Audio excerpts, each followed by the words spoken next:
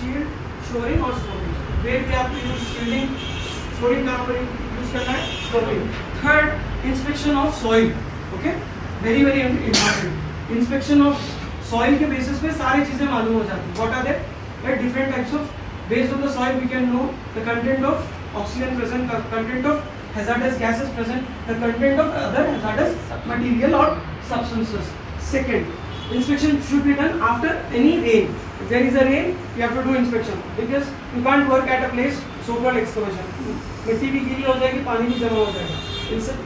isn't it high winds during high winds also you can't do the excavation work other occurrence which may increase the chances of hazard जिसमें hazard के chances हो गए इसके ज़्यादा chances हो गए third place where you commonly do inspection when you can reasonably anticipate an employee will be expose major जहाँ पर एक एक्सपीरियंस है एक सेफ्टी ऑफिसर एच एस